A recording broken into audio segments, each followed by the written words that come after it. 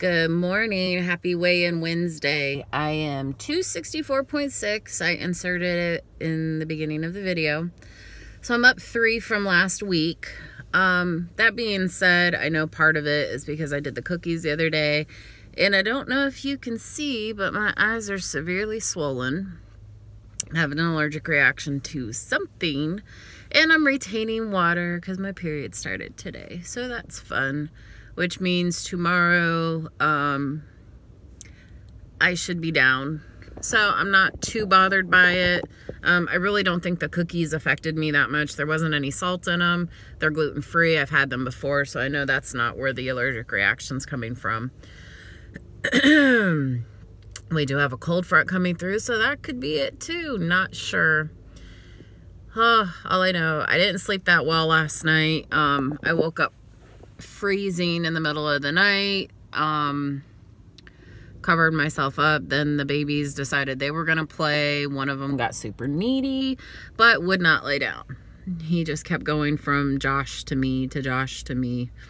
Um, so yeah, that was fun. Plan today is steak and a shake if I get hungry later. I did that yesterday. Um, I also had the middle of a pickle um, what else did I have? Um, oh, I did some ChocZero uh, coconut bark. Sorry, there's something in my pants, in the leg of my pant. It was really weird.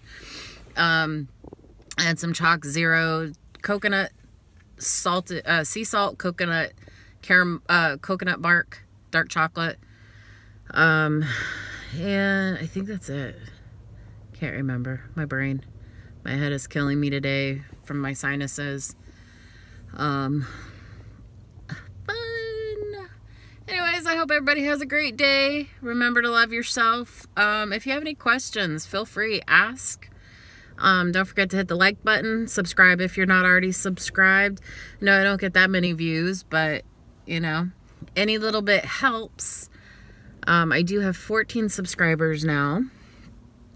Um, so yeah, if you have any questions, let me know. Um, I'm gonna, this weekend, I think the project should be done on the roof, hopefully. Um, and then I can prep.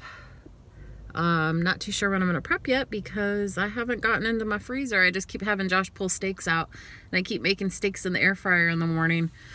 Um, all right, I will see everybody tomorrow. Bye.